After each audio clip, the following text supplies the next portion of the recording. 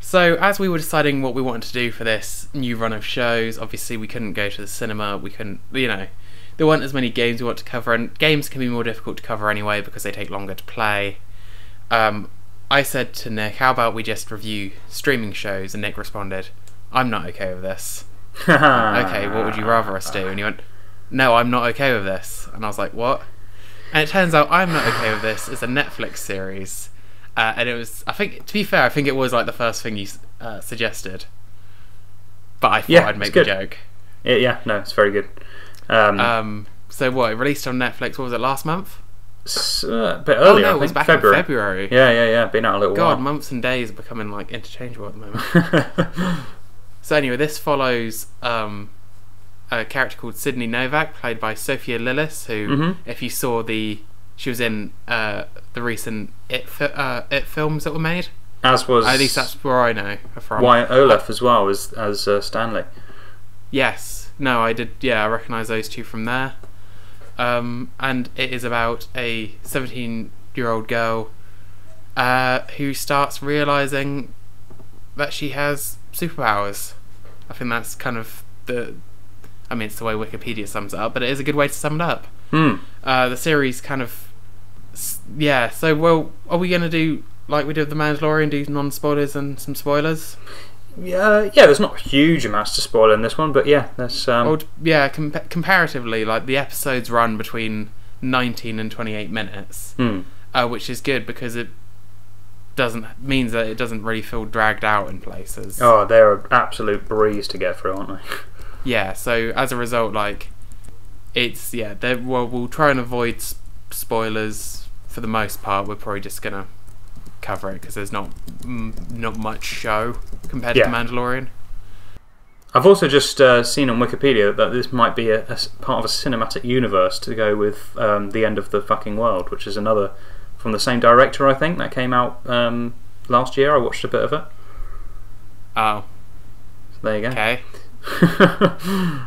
So that's a weird one. yeah, good director, very good director. He directed all uh, seven episodes of this one.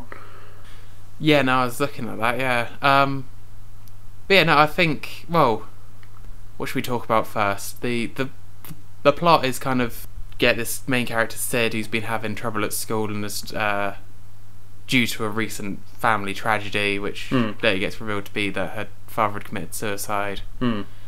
Uh, and she's been she's made to write in a diary, which becomes kind of almost like the narrative for the show because she's narrating what she's writing in her diary as kind of the show goes on. Yeah, it's a interesting kind of semi-unreliable narrator type thing, um, which because she's uh, been writing a, a, a diary due to her therapist suggesting to do so. Um, it's a very nice, short little character piece. I thought. I thought this show.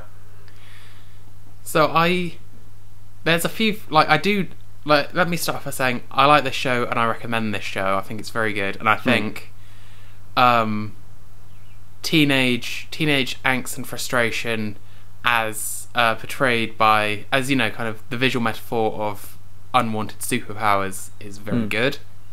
I think it's based off a comic book, but I, I wasn't able to find much information on the comic book when I was like looking up. Hmm. I think somebody at Netflix mandates the kind of it has to look retro, but it's actually modern. Yeah, there's a word for that, not there? That I came up that uh, I was looking at for for the last season, and I've forgotten that word again. Retro? No, there's a kind of it, they, they. It's a very popular thing at the moment. They use it. I think since the success of Stranger Things, they've used it for like this, sex education, um, the end of the fucking world. It's a very. It's um, uh, an anab. No, what's it called? An anthropomorph. Uh, what's the word? Not have to Google it. anthropomorphic. That means it's just like animals walking like people. I think. No, not that. Word for time uh, in specific. Anyway, there's a word for it. It's a very good word.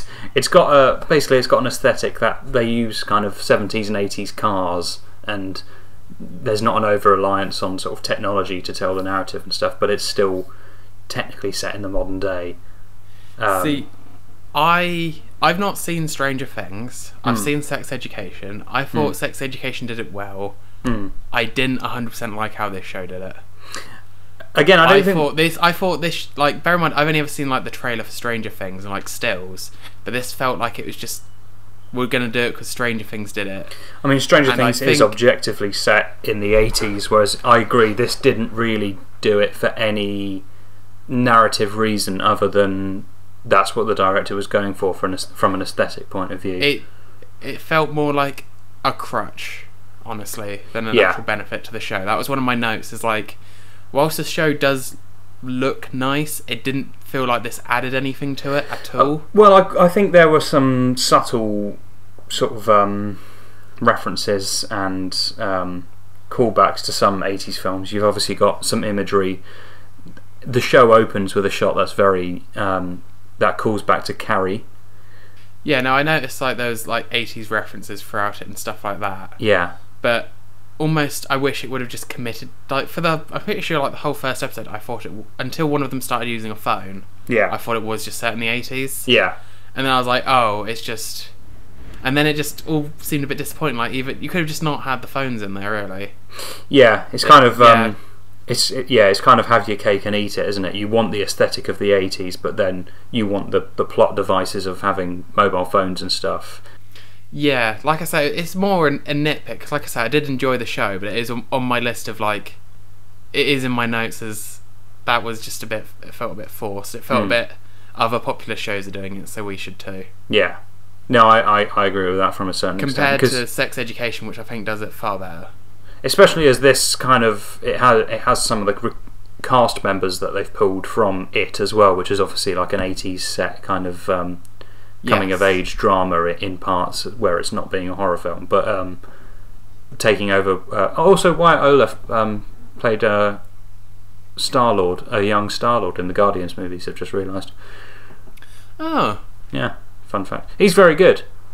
yeah he is Uh, in fact, both Sophia Lillis as well, I think, was excellent. Um, she's got a very, very characterful face, hasn't she? She sort of tells a lot from the way she's staring or the way she's reacting to other characters, um, like the jock character and stuff. The way she sort of interacts with that, you very, you very much believe her as that kind of dorky kind of kid in that year. Yeah no i think the the cast all do a really good job actually. Yeah, so yeah no no complaints kind of that wise. I think yeah her performance is very good his performance is very good. Hmm. i think it's uh, a very good show for its the conversations that it has around kind of almost uh, puberty frustration sexuality stuff like that. Hmm. um, I think whilst it was a breeze to get through with shorter episodes, it did mean that some of the stuff was some of the the twists weren't really that twisty, and sometimes the show was a bit sh- bit shallow. Didn't really have as much going on as I'd have liked. Hmm. Um, I think um, what I liked about it was it did a lot of that through the cinematography and through the production value.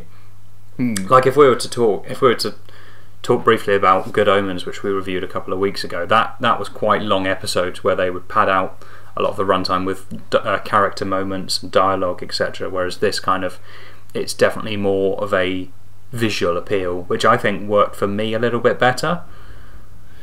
yeah, I mean, Not that we have to compare every show that we review, Yeah, but I, I, I think like someone like me who who enjoys visual storytelling, um, I think is going to enjoy this a lot. Yes. No, I do. I do um, understand that, and I do do agree. I do think that this would be in another in another imagining of the show. This would be the first free episode of like a ten episode series. Mm. I- If they were like hour long episodes, and then because obviously it ends on a cliffhanger. Mm. We were saying actually, you, you said about Good Omens and like CG and stuff like that. There were certain points where I thought the CG was very good. Other bits where I thought it was kind of bad. In this, in sure, I'm not yeah. okay with this. What bits did what bits stood out to you as being bad? Because I know a lot of the. So this is in the trailer, but there are some sort of supernatural superpower elements to this, and a lot of those moments are done quite practically. So like there's a scene Yeah. in, in the library with the books, which I thought looked excellent.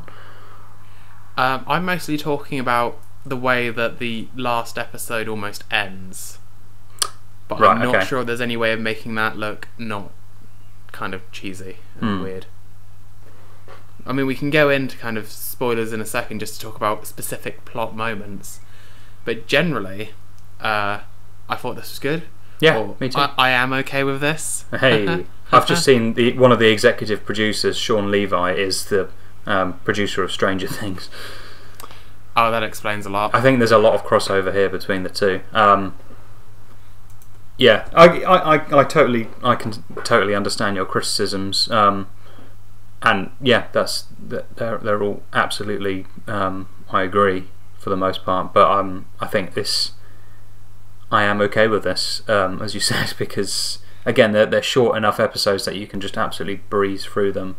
I think Um, I'd probably watch a second season when it gets inevitably gets released. absolutely The one, the one thing I would say that I'm not sure you would agree with I think the show is at the it's most interesting when it's not explaining things. Mm. I actually found the bits where they sat down and explained stuff to be some of the more boring bits, Yeah. and also takes a bit of the fascination away with like the powers Mm. a little bit midichlorian-ish. like takes takes the wonderment away and like the magic away when you just Hmm. explain it. Um, Interesting you say was- about that was- midichlorianness there, like uh, like your favourite film, The Phantom Menace, does. not my favorite film. It definitely it's still it's just better than Attack of the Clones. We're talking about who It's gets not the wooden than Attack spoon. of. Talking about who gets the wooden spoon. but would you agree with that, or did you think it was? Um, It was I don't think I how was. they I, again, I, it went. It blasted through so quickly for me that I, um, yeah, I didn't necessarily, d- um, didn't bother me particularly. Um, I would say, I think a lot of these shows and stuff, and you know what I was saying. I, I've just started watching Community the other day. I think there's a lot of um, shows. Do you think these sort of um, the Breakfast Club is getting overused as a point of reference for things these days? Probably, uh, there's it's just inevitable that there's an episode in every sort of modern series that calls back to being stuck in detention or stuck in somewhere with a, a group of other sort of misfit characters where they get to know each other better. Um, yeah, and if you really are after a quarantine watch, then I would definitely recommend going back to watch The Breakfast Club, the the original film, um, because pretty much every series that's commissioned now has some kind of callback to it, and it's a brilliant film. But yeah, maybe maybe it's just getting to that past the point of um, using it for everything. I don't know. yeah. Um, and I would recommend Community as a quarantine watch. So this has become a very interesting episode. No, but I did I did like this. I would recommend this just for people to form their own opinions, and Mm. also it's it's not a big time commitment either. No, it's seven episodes, average of twenty minutes. It's kind of it's just over two hours basically. Yeah, so I I think yeah it's it it's a fine watch. It is a fine. Is watch. there actually anything in spoilers we want to discuss? Because I think we potentially either alluded to enough or covered Hmm. enough. Well, actually, I mean, yeah, okay. I don't think we need to necessarily go into spoilers, but basically, at the beginning of the series, you see that shot that's reminiscent of Carrie, where she's emerging covered in blood. Oh that, yes, that is the result of a particularly gory scene, which it builds up to it, it towards the final episode. Um, and I, I thought the effect was, was quite good. It, it actually shocked me quite a fair bit. I didn't really know. You don't know exactly how it's going to go down, but it, it went down in quite a, a impactful Yes. way. I thought. yes, I did, definitely didn't see it coming. No. but there's just something about that as an action, possibly because it's been done as like a visual metaphor in comedy shows too much. Yeah. But yeah, no, it's pretty pretty uh, gruesome in that context, and it is kind of it's kind of good as a sh- uh, narrative mechanism that you're always working back to the first scene of the first episode. Yeah. Uh, good soundtrack as well. I thought Yes, quite good picks. Um, they all they all make sense as part of the narrative, which again I think is another thing that's plucked through. Um, I don't know. I think James Gunn probably kick-started a bit of that in modern TV and film as well. Is is that sort of yeah, and I guess Edgar Wright did it with Baby Driver as well, in that they kind of use the songs as a as a character in the show to to move on certain plot points and stuff. Um, but I think it worked quite effectively in this. Hmm. Um, I again, I, I, it worked effectively, but it still felt to me like it was just. It didn't feel to me like this was a conscious choice of the show. It just felt like it was copying what was popular for Yeah. shows to do. yeah, And again, maybe that is because since since Guardians of the Galaxy, so many have done it mm, that it's even.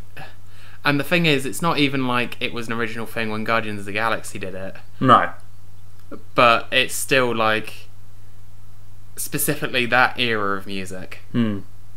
Okay, so I, I I would say overall what we're saying is it's not particularly the most original of content, but you know what? It's it's a pretty good um, mesh of some of those things that have become popular, and as we've said, they're it's like just a two-hour series. So I mean, you might as well. Yeah, and at the end of the day, uh, these these tr- these concepts become popular for a reason. Yeah, I would say um, I put it on par with Good Omens, probably. yeah, I'd say both are worth a watch. I didn't like. I, I wasn't, I'm not sat here like gushing like we were for the Mandalorian last week, but no, like I also didn't walk away thinking, "Oh, that was a waste of time." Yeah. Why did Nick make me watch that? well, it's one of your picks next week. We'll we'll we'll see. Well, it was a recent release. I haven't seen it either, so we will see.